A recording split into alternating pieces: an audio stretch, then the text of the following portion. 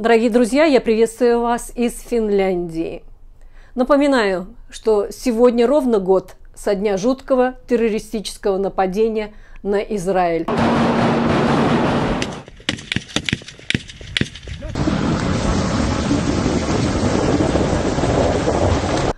Уже год террористы удерживают в заложниках десятки гражданских лиц. Выражаю свою поддержку и сочувствие Израилю. Желаю Израилю скорейшего освобождения сограждан.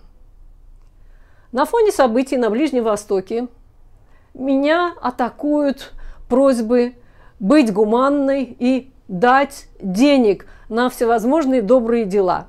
Я неоднократно в своих видео затрагивала тему благотворительности. Смотрите, например, вот это видео, ссылка в описании. Тема обширная, и в очередной раз благотворительность в заголовках газет. Сначала появилась новость об уже слегка подзабытой супермодели э, звезде подиума Наоми Кэмпбелл. Черная пантера была отстранена от должности попечителя британской благотворительной организации, и ей запретили заниматься благотворительной деятельностью на пять лет. Обнаружилось, что благотворительные средства тратились на роскошные отели, спа-процедуры, охрану для Наоми Кэмпбелл, а также на другие несанкционированные выплаты одному из ее коллег-попечителей – этой благотворительной организации. Благотворительная организация Fashion for Relief проводила сбор благотворительных средств для э, двух благотворительных организаций – Фонд спасения детей и Фонд мэра Лондона. Расследование показало, что в период с апреля 2016 года по июль 2022 года – всего лишь 8,5% собранных средств были потрачены на гранты благотворительным организациям. Наоми заявила прессе, что Рафик не виноват, то есть, что она ничего не знала и очень обеспокоена. Я помню, одно время сообщали, что Наоми Кэмпбелл э, жила с одним из российских толстосумов, с неким господином Дорониным – но самое смешное было, когда 7 лет спустя после расставания пары господин Доронин через суд потребовал от Наоми вернуть ему деньги и вещи, которые он якобы ей одолжил. Русские олигархи, они такие. Но Наоми Кэмпбелл на судебных разбирательствах собаку съела, и она тут же подала в Нью-Йорке Доронину встречный иск с требованием вернуть ее вещи, которые якобы находились в его распоряжении. Черная пантера Наоми Кэмпбелл известна своим буйным нравом. И, скорее всего, господин Доронин получил от мертвого осла уши. Во всяком случае, э, об исходе этого судебного разбирательства никаких сведений нет. Миром решили. Ладно, от сияния лондонских звезд обратим взор к Финляндии.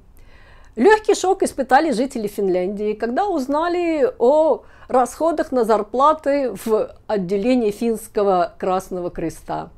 Согласно годовому отчету Финского Красного Креста, зарплата генерального секретаря Финского отделения Красного Креста э, составила, включая бонусы, в 2023 году 198 тысяч евро, а в 2022 году эта сумма составляла 121 тысячу евро.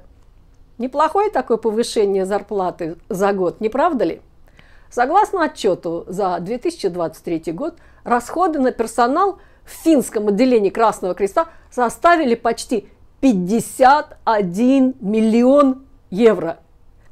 Согласно отчету за 2023 год, доход столичного округа Финского Красного Креста составил около 1,7 миллиона евро.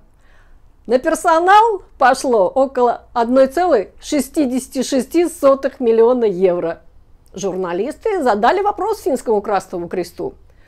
Финский Красный Крест заявил, что заработная плата руководителей Красного Креста вообще выплачивается не из пожертвований, а из других доходов. Красный Крест сообщил, что зарплаты персонала работающего в Финляндии, финансируется из нескольких различных источников, таких как доходы от продаж продукции финского креста, не знаю, чем они там, значки, что значки, флажки, из членских взносов, а также из э, грантов нескольких министерств. По правилам организации, из пожертвований не менее 80% должны использоваться на гуманитарную помощь. Журналисты спросили, почему на зарплату идет 51 миллион евро, когда большую часть работы выполняют волонтеры. Красный Крест объяснил, что сотрудники, например, обучают и направляют волонтеров, приобретают средства для оказания помощи, управляют финансами и вообще деятельностью организации. По данным Красного Креста, уровень заработной платы ее сотрудников соответствует другим зарплатам в той же области в Финляндии. С благотворительными организациями разобрались. Теперь я расскажу об одной частной инициативе. Финские волонтеры собрали более 200 тысяч евро, купили в Швеции 12 поддержанных машин скорой помощи, 5 из них были полноприводные и отправили на Украину. Деньги на машины собирались э, в ходе марафона, в котором участники плыли, гребли, бежали или пешком шли из Финляндии на Украину. Целью марафона было собрать 156 тысяч евро, примерно 100 евро за каждый километр. В итоге было собрано более 200 тысяч. Основатель организации, предприниматель Магнус Лонден говорит, что суммы донатов варьировались от 1 евро до нескольких тысяч евро. Самое крупное пожертвование, около 40 тысяч евро, поступило от некой компании. На каждые собранные 25 тысяч евро покупается поддержанный автомобиль скорой помощи с оборудованием, необходимое сервисное обслуживание и топливо для передвижения автомобиля – Водители-волонтеры, доставляющие автомобили на Украину, сами оплачивают часть поездок и проживания. Организация открыто публикует свою финансовую отчетность. Лондон говорит, что он хочет, чтобы жертвователи знали, что на самом деле было сделано и где используются автомобили, купленные на их деньги. Организация контролирует использование автомобилей – получает информацию о том, где ездят автомобили, и получает фотографии используемых автомобилей. Это усиливает ощущение того, что помощь действительно пришла туда, где нужно.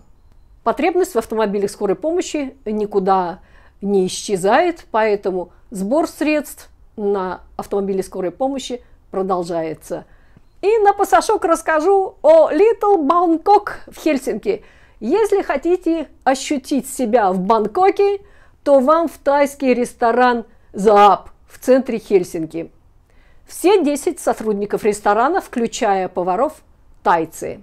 Там по субботам идет такой дикий разгул, что приходится предупреждать о последствиях.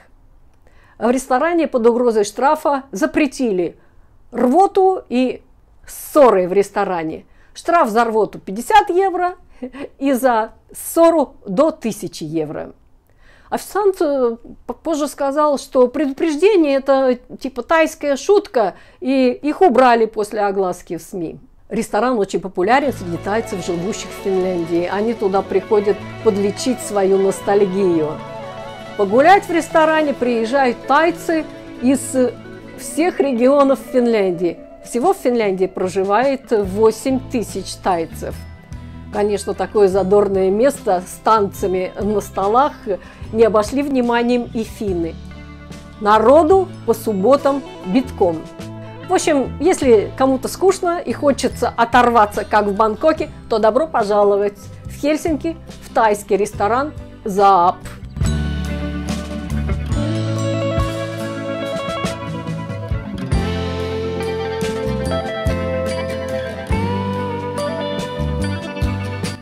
На этом, дорогие друзья, я прощаюсь, благодарю за внимание и до новых встреч. Всем пока!